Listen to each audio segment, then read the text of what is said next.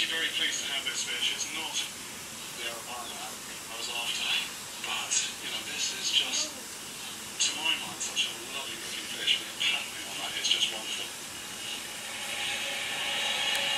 This bizarre catfish is a